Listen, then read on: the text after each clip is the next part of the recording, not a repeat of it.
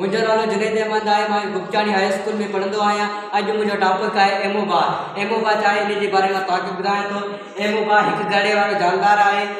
हिन हीउ बीठल पानी में रहे तो हिन जो माप article zero point two five millimeter थे तो संदस शकल गड़े की चौधारी सॼो परदो थिए थो एमोबा चुपुर करण जे लाइ कूड़ा पेर थियनि था जेके सोडो पोडिया चयो वञ चइबो आहे